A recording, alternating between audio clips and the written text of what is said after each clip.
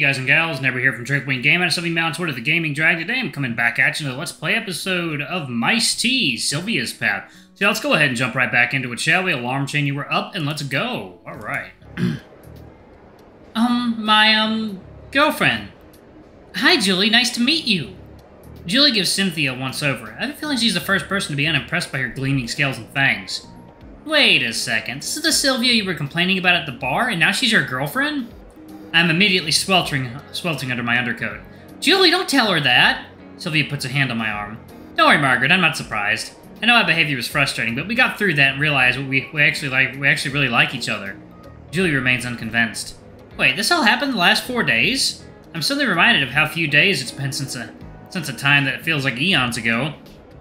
Yeah, it's been sort of a whirlwind. What have you been doing this whole time? I even got a job working afternoons at that tea place Gavin runs, and I haven't seen you since I got it. Wait, you're working at Tea Friends now? Yeah, I was gonna surprise you when you came in, but you never did. Gavin said he hasn't seen you either.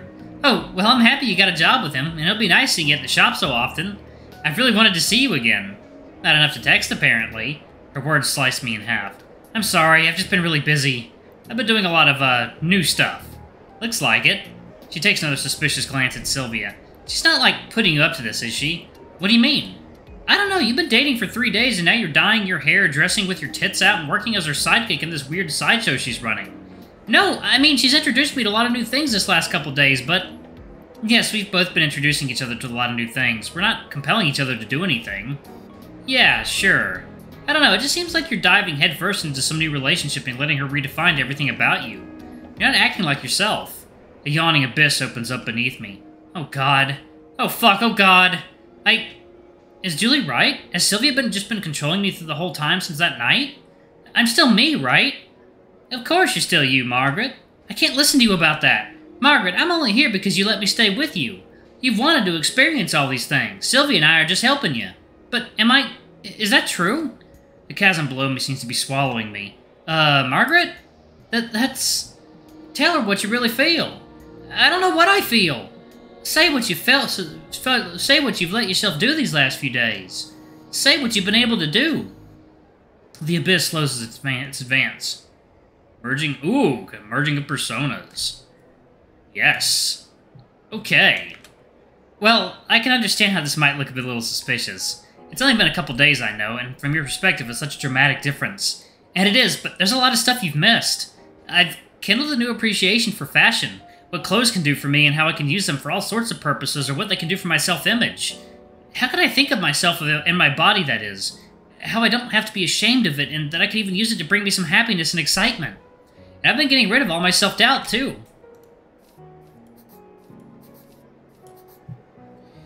Weren't you getting it on my case the other day for being a doormat?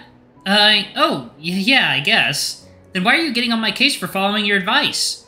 Yeah, keep going. I'm standing up for myself now. I've stood up to strangers and my boss and everyone who tried to make me feel less than I should.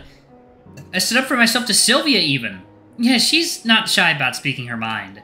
I'm not remaking myself to fit with her, her desires. I'm remaking myself to be the person I want to be. Who's that? Oh. That's it, darling. The darkness beneath me is replaced with a warm amber glow. Peggy's filling me with more of her essence than ever before. It's not just a stream of water I can turn on or off. It's the sea I find my uh, find my mind sailing in. I mean, really, Jules, you're you're concerned about me like this? I've got a throng of followers queuing up for hours to see me and my gorgeous girlfriend, and you think this is a problem somehow? If I didn't know you were such a dear friend, I might think you were jealous of how well we're cleaning up at this convention. Julie is successfully knocked back on her heels. No, I'm selling a lot of pics. I'm doing just fine. I wouldn't doubt it, but you've always been such a cute little thing. She's rattled by the term she's, she's used to using on me. Oh, thanks. You've just got to let me buy a full set of photos from you. I've missed that cuddly body of yours since we hooked up in college. I'm sure Sylvia's not the jealous type, are you, honey? Not at all. Julie holds the photos tight enough that I'm worried she'll crease them. Oh, uh, sure, if I have any left over, I can give you them for free. I'd love that. Won't you pick... Why don't I pick them up at Tea Friends next time I'm there? I'll call ahead to make sure it's during one of your shifts. Then I can have you over to my place and we'll have another movie night like back in the day. I'll make a bunch of... Capiranas? I Like a bunch of capiranas and we'll pig out on nacho tater tots. Just like old times, hmm? This specific example seems to both surprise and mollify her. Oh, yeah! Those nights were great. And you'll, uh, you'll have the time? For my best friend, I'll make the time. I have a feeling she'll take the opportunity to grill me more later, but she seems a little more at ease. Oh, sure, uh, cool. So, I've got more selling to do. I'll see you around. I look forward to it. She twiddles her fingers in goodbye and shuffles away into the crowd. Phew! That was something. Thanks for giving me so much support there, Peggy. No, wait, did I take control just now? Margaret didn't use the trigger word. Did you, Margaret? Margaret? Peggy? Look inside myself and can't find anyone else there with me. Wait, what's going on? Who's in charge now? I trace the last few minutes back to see where a, hand a handoff occurred. I don't remember any happening. It's more, I remember both sides of the conversation we had when Julie confronted us. Going farther back, I remember every moment of the last two days from my both perspectives. I remember flirting with Gavin and my night with Sylvia. I recall the shopping trip and waking up from it. What's more, I remember looking. What's more, is I remember looking into Peggy's eyes and Margaret's eyes in some like in my subconscious. Oh my god, did we merge? It's like you know, water time. All right, y'all, and we are back. Okay. No, there we go. Okay. Margaret, are you okay? Yes, I think something might have happened with um us though. Oh, do you need some help with that?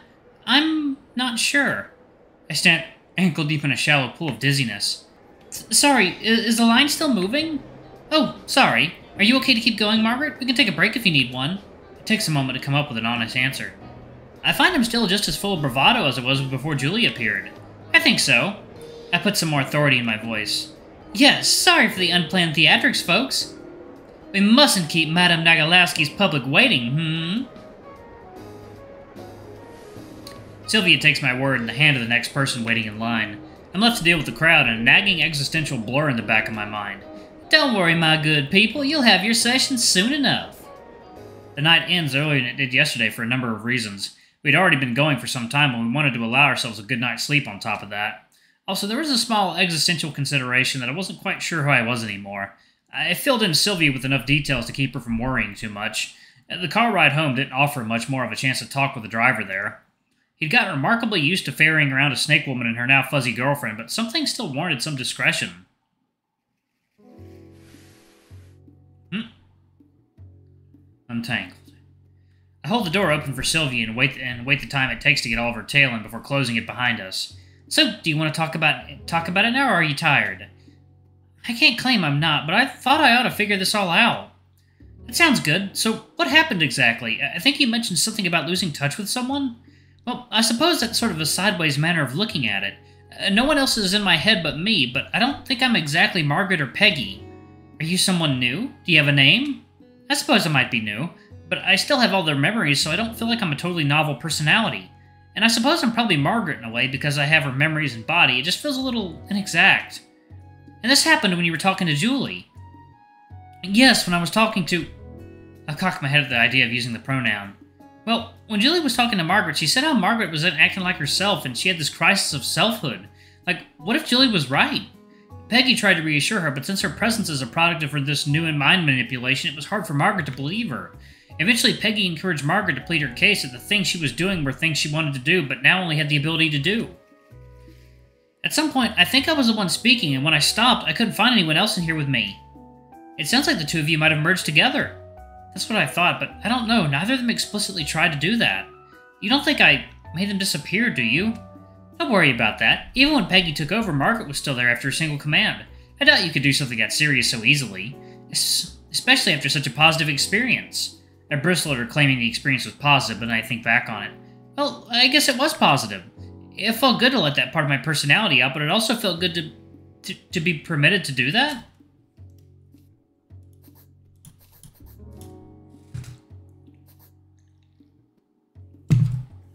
Yeah, Margaret be looking all kinds of fine in that dress.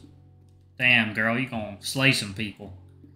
It's as though I was glad to open a door for someone, and I was also grateful that someone opened it for me.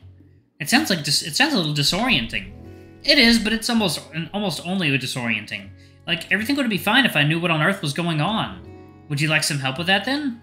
I mean, sure, but how many people have you already helped today? Dozens, I'd imagine. Don't your eyes get tired, dear? It's no problem at all. You think I'm gonna help all those people and not help my girlfriend? Well, those people don't have access to you at all hours.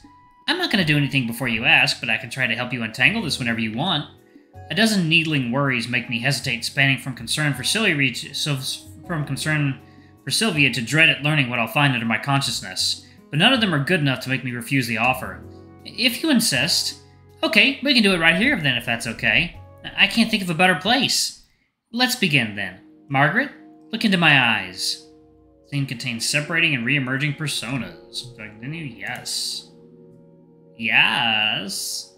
Okay. The first command I've heard from her in 48 hours reintroduces me to their power. Her fully slitted eyes, the ones I thought I'd seen and appreciated, now dominate all my attention. Until now, I've never noticed how entrancing they are. Her pupils look like a portal beyond the stars to a realm untouched by lighter gravity. We're going to retrace our steps back into your subconscious mind. Do you remember when we did that? I do. But this might be a little easier this time. I want you to remember how we how we prepared you, how we made this very apartment disappear. Remember how easy and right it was to discard the material world around you. The room around me vanishes away again, but much more easily this time. Once informed of the transience of my of the physical reality around me, it's much easier to dismiss. Once again, there's nothing but Sylvia's voice and presence to guide and comfort me. Is it just us now? It is. Is it more comfortable now? Trusting me and being supported by me? It is. Another benefit of being my girlfriend, hmm? It's still not far enough to start. I'm still not far enough under to avoid a sleepy giggle. Hmm, yeah. Then let's go down to your subconsciousness again. Travel that same path into your mind. Make yourself smaller while drawing yourself inside. Your mind is your center. Realign yourself with that center. I find myself traveling through a groove I'd formed in my mind, an emptiness inside space that acts as a conduit to draw me within. Deeper.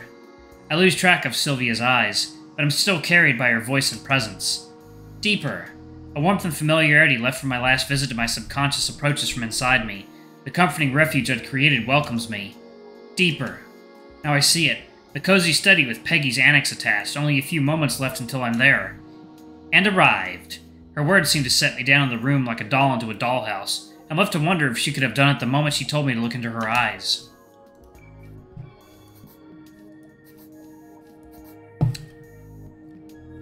Can you hear me? I can. Is everything how you remember it? I soak in the ambience of the crackling fire, the steaming tea, and the fully stocked wardrobe. It is. That's a good sign, then. If it's still the same subconscious, that means you haven't lost anything.